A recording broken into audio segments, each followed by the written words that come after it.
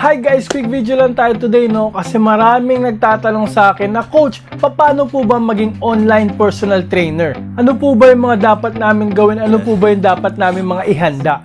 So guys, yan yung mga sasagutin natin today no. Pero bago tayo mag-start, magpapakilala muna ako. Ako nga pala si Nico Safe, registered nurse turned fitness trainer. Nasa fitness industry for more than 9 years. Gym owner sa umaga, vlogger sa gabi. Ako nga pala ito, ang medyo machong coach Tino. Hey, I ain't never giving up. Said I never give up. Bago nga pala tayo mag-start guys, no, i-invite ko muna kayo kasi baka first time nyo pa lang sa channel na to, no. Kung first time nyo pa lang and mga ganitong content yung hilig ninyo, mga fitness related videos, mga supplement reviews, please mag-subscribe na kayo and i-click nyo na rin yung bell icon para like kayong updated sa mga next videos ko. And guys, may favor na rin ako sa inyo, no? I-click nyo na rin yung like icon dyan. Madali lang naman yan, isang segundo lang yan eh. Para ma-push yung video natin sa mga viewers na talagang nangangailangan ng video na to. Yung mga viewers na gusto ring maging online personal trainer. Okay ba yon? Huwag yung intindi ito, pilipitan dila nito. Pero bago mag-start, no, magbibigay muna ako ng mga pros and cons ng online personal training. For me, no, ang napakagandang advantage ng online personal training, except dun sa magagawa mo nga siya ka, ngayon kahit pandemic, no, isa na yan sa benefit, magagawa mo siya kahit pandemic, kahit pa may kung ano-anong virus na dumating, no. Kaya mo mag-train sa isang oras ng paggawa ng program, no, mabibigyan mo na ng program yung labing limang clients mo, yung sampung clients mo, o baka kung mabilis ka na ngayon, no?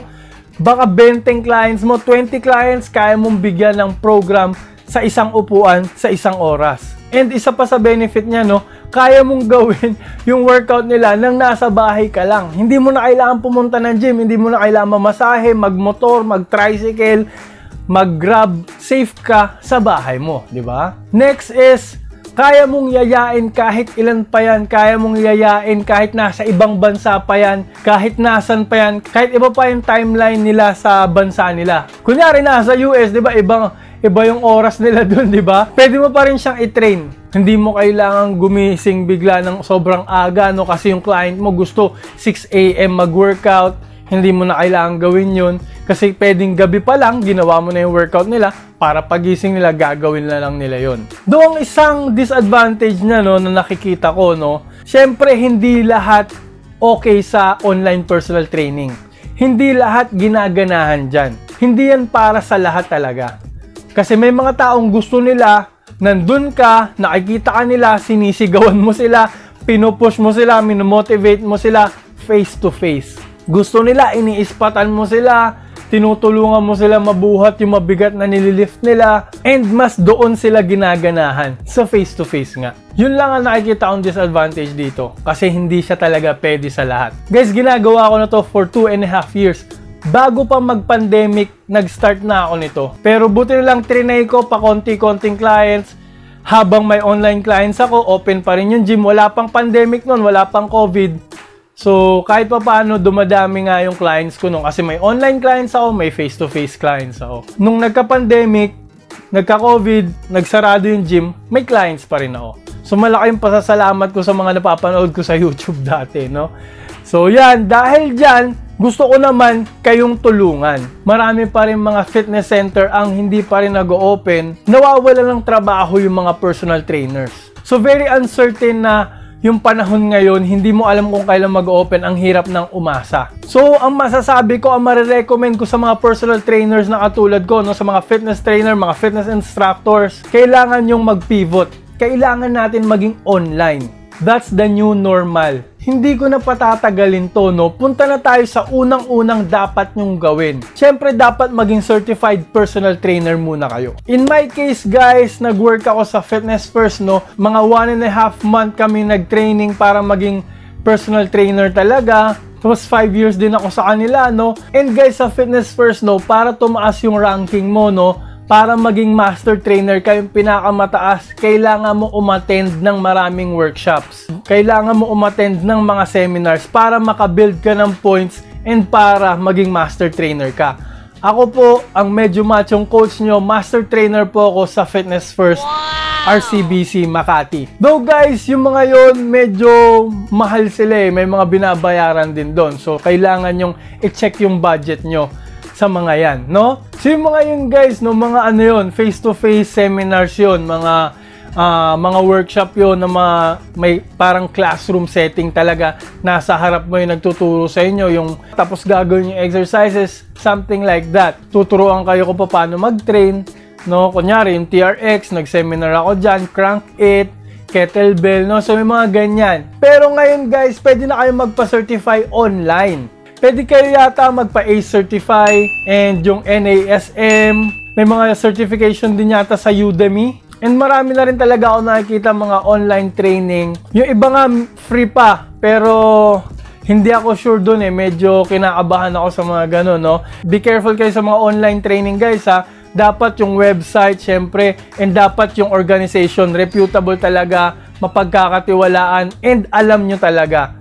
Okay? So, i-research nyo na maayos yan bago kayo mag-enroll. And pwede pa rin naman yung mga face-to-face ngayon. Pwede pa rin kayo mag-training sa mga workshop ngayon. Meron pa rin yata, no? Kaso lang, syempre, limited yung slots. Konti lang i-allow nila para merong social distancing. Siguro kung ako yung tatanungin, marirecommend ko yung face-to-face talaga, no? Kahit papano. Kasi parang mas matututo ako dun eh. Kung ako lang naman yung tatanungin. Doon mo mararamdaman ko paano mag-train talaga, no? Para malaman mo yung pakiramdam na nagtitrain ka ng face-to-face, kahit ang alam mo, soon ang gagawin mo is online training muna. Kahit doon talaga yung goal mo na online training. Pero guys, no, depende rin yan. Kasi kung ang kukunin mo naman certification is about diet, nutrition, pag intermittent fasting, pagtuturo ng tamang pagkain, syempre siguro for me okay lang naman na online yung mga ganyan. Pero katulad nung sa akin and yung mga katulad ng mga yoga, kickboxing, syempre mahirap yatang ano, mag-start ka niyan as online talaga. Magandang medyo classroom yung setting nyo kung ako lang naman yung tatanungin. So guys, after nyong ma-certified, kailangan nyo lang malaman yung ideal client ninyo. Ano ba yung ideal client ninyo? Nagba-bodybuilding ba? Yung nagpapalaki ng katawan, yung magko-compete? Yung nagpapa-lose weight ba? Yung nagpapagain ng weight? Mga special population ba? Buntis, seniors, mga pedya, mga bata, kailangan nyo malaman yung age, yung gender. So, yun yung mga importanteng kailangan nyong sagutin bago kayo mag-start. Gusto nyo ba ng mga nagbabasketball? Sport specific ba? So, yan, aalamin nyo yan. Okay? Pero ngayon, marirecommend ko, syempre, mag-focus kayo sa mga home workouts kasi yung ibang gym nga, sarado pa. So, magpagaling kayo magturo ng mga dumbbells lang, body weights lang, TRX, kettlebells, mga equipment na meron lang sa bahay. Importante yan guys kasi kailangan nyo yan para sa marketing ninyo. Para alam nyo kung sino itatarget ninyo kung paano nyo aatakihin yung mga future clients ninyo. Aatakihin.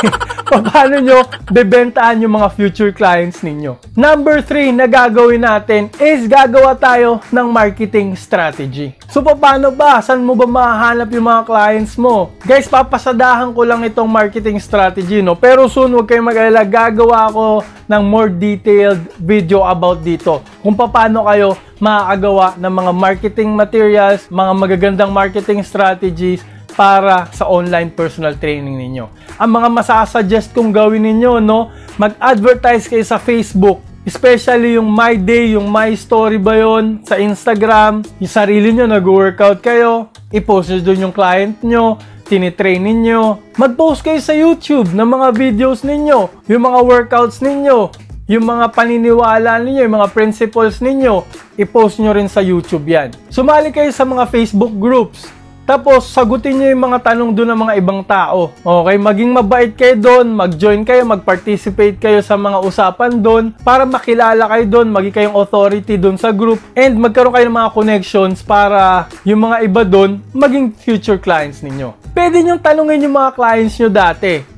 Ako, tinanong ko yung mga clients ko dati, no, nung nasa Fitness First pa ako. Pwede nyo ring tanungin yung mga kaibigan nyo. Malamang napakarami yung kaibigan sa Facebook. Tanungin nyo yan. Halos lahat ng mga yan, tanungin nyo. Malay ninyo, sa sampung yan, merong isang umoo. Ilang libo yung friends mo. Bawat sampung may isang oo, eh di maraming clients yan, di ba? And marami pang mga strategy guys.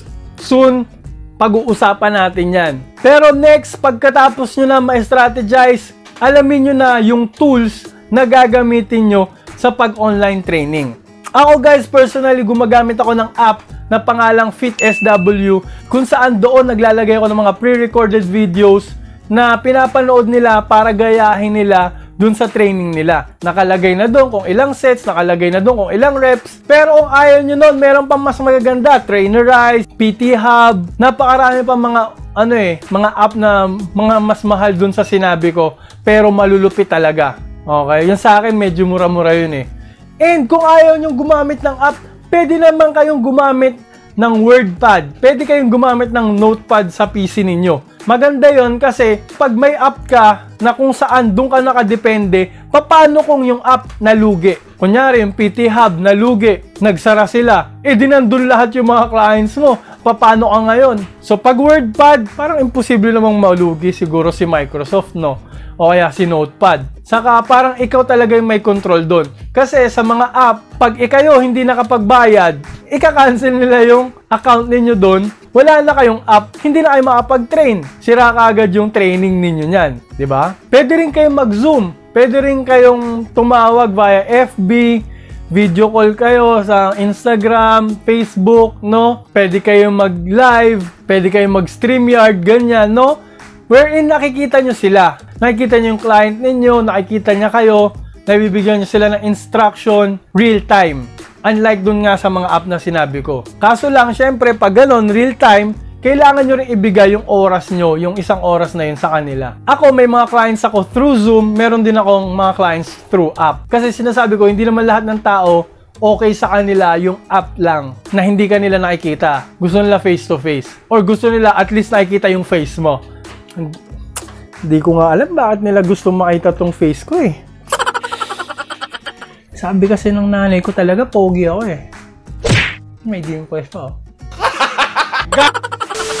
Kidding aside, marami kayong pwedeng pag-aralan dyan. Ang masasuggest ko, itry nyo yung mga app, itry nyo yung mga certifications, lahat ng mga sinabi ko, itry ninyo. Kasi hindi nyo malalaman hanggat hindi ninyo tinatry. Katulad ko dati, ayaw kong pumunta online. Pero nung natry ko, okay naman pala. Maghanap kayo ng app na mag-work sa inyo, yung madali ninyo magagamit, yung naiintindihan ninyo. So, nasa inyo yan guys, pag-aralan nyo nga talaga lahat. Tapos, kung may katanungan pa kayo, pwede kayong mag-PM sa akin. Pwede kayong mag-message sa akin dun sa Facebook group na ginawa ko, yung Medyo Macho Movement. Huwag kayong mag-alala kung hindi pa kayo kasali sa group, maglalagay ako ng link dyan sa baba para madali kayong makasali sa group natin.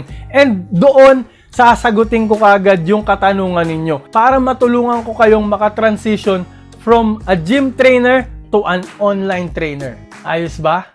So yun guys, sana marami kayong natutunan today about sa online personal training. Sana i-share nyo ito sa mga friends nyo nagbabalak maging online personal trainer pero natatakot pa and hindi pa nila alam kung paano nila gagawin ito. Pero bago nyo ito i-share guys, please like and subscribe. I-click nyo muna yung bilog dito para makasubscribe ka agad and para like ka updated sa mga next videos ko. Hanggang sa muli! Bye!